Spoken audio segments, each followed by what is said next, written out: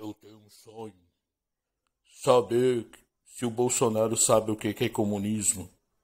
Porque eu acredito que ele não sabe. Porque ele é um quadro